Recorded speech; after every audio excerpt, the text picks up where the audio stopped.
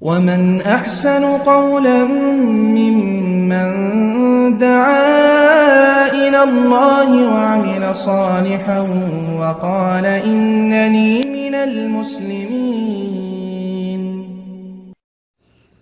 ওয়ালাইকুম আসসালাম রহমতুল্লাহ ওবরাকাত যে আমাদের দিনী ভাই জনাব সুমন কাতার থেকে জানতে চেয়েছেন যে আরাফার যে রোজা রাখতে হয় সেটা হাজিরা রাখবে, না যারা হজ করতে যায় না তারা রাখবে। এবং এই রোজা যদি ওই সমস্ত মানুষদের রাখতে হয়, যারা হজে যায় নাই, তাহলে কোন তারিখে তারা রোজা রাখবে সে বিষয়ে তিনি জানতে চেয়েছেন।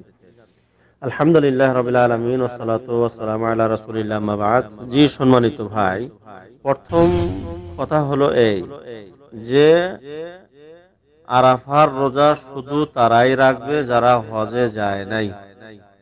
তাই হাজি ব্যতীত বাকি মানুষ এ রোজা রাখবে। চাহে মক্কার হোক, মদিনার হোক বা অন্যান্য দেশের বাসিন্দাই হোক না কেন, তাদের জন্যই এই রোজা। হাদিসের মধ্যে এসছে, আবু কাতাদা রাদিয়াল্লাহু বর্ণিত, আল্লাহ রাসূল আলী সালাতু সালামকে জিজ্ঞাসা করা হলো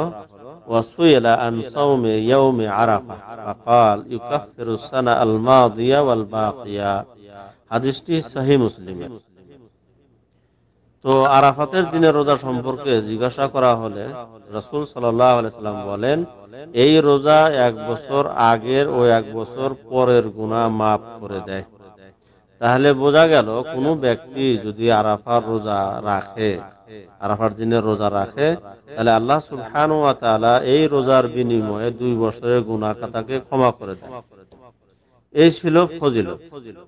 এখন রোজা রাখবে কোন দিন? প্রত্যেকে নিজ নিজ দেশের তারিখ অনুযায়ী না হাজিরা যেদিন আরাফার মাঠে উপস্থিত হবেন সেই দিনে? এই বিষয়ে ওলামাদের মধ্যে মতানক্য থাকলেও ওলামাদের বিশুদ্ধ মত অনুযায়ী হাজিরা যেদিন আরাফার মাঠে উপস্থিত হবেন, সেই দিনেই এই রোজা রাখতে হবে, যেহেতু হাদিসের মধ্যে ইয়ম শব্দ এসেছে। দিনের কথা উল্লেখ করা হয়েছে।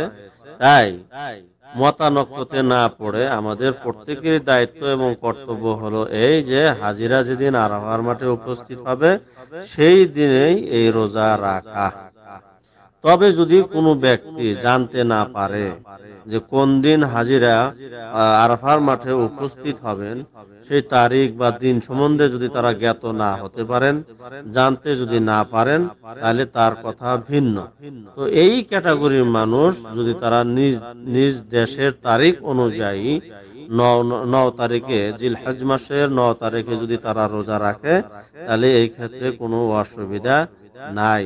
কিন্তু ওই ব্যক্তির কথা ভিন্ন, যে ব্যক্তি জানবে যে আজকের দিনে আরাফার মাঠে হাজিরা উপস্থিত হয়েছেন, সেই ব্যক্তির জন্য এটা বৈধ হবে না যে তারা নিজ নিজ দেশের তারিখ অনুযায়ী রোজা রাখবে। এটাই হচ্ছে ওলামাদের বিশুদ্ধ মত। বাকি আল্লাহ আলম সালাম আলাইকুম রহমতুল্লাহ